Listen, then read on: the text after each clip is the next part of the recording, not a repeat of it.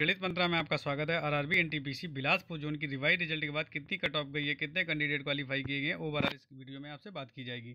तो भैया level two की कट ऑफ़ यहाँ से देख लेते हैं, चौंसठ कट ऑफ़ गई है यूआर की। एससी कैंडिडेट की आप कट ऑफ़ देखेंगे तो यहाँ से बावन गई है एसटी की फोर्टी एट गई है ओबीसी की यहाँ से इकसठ कट ऑफ़ है। जबकि ईडब्ल्यूएस कैंडिडेट की बात की जाए तो भैया, यहाँ से अड़तालीस कट ऑफ़ गई है सॉरी उनचास। और आगे सभी लेवल की कट ऑफ़ देखते हैं। तो ये रही भैया आपकी लेवल थ्री की कटाप। तो यहाँ से आप देख सकते हैं यूआर की इकहत्तर कटाप गई है एससी की छप्पन कटाप है एसटी की बावन कटाप है और ओबीसी की चौंसठ कटाप है। जबकि ईडब्ल्यूएस कैंडिडेट की बात की जाए तो भैया यहाँ से आपको इक्यावन कटाप देखने को मिलेगी। आगे बात करते हैं। तो ये रही भैया लेवल फाइव की कटाप। यहाँ से कटाप देख सकते हैं आप कि भैया यूआर कैंडिडेट की बहुत कम छाछठ कटाप है एससी की पच सॉरी तिरपन कटाप है आगे बात करते हैं एसटी की तो अड़तालीस कटाप गई है ओबीसी की इकसठ कटाप गई है ईडब्ल्यूएस की बात की जाए तो इक्यावन कटाप गई है। ऐसे बात करते हैं लेवल छः की कटाप के बारे में। तो ये रही भैया लेवल छः की कटाप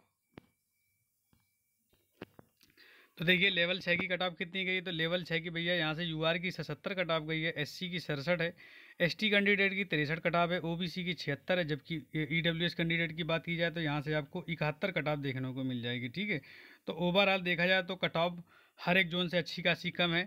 ठीक है तो ये रही आपकी कट ऑफ़ पीडीएफ का पीडीएफ में आपको लिंक मिल जाएगी, वहाँ से अपना रिज़ल्ट चेक कर सकते हैं। ठीक है तो वीडियो को लाइक कर देना कमेंट कर देना शेयर कर देना और चैनल पर नए हैं तो चैनल को सब्सक्राइब करके सपोर्ट कर देना। Thanks for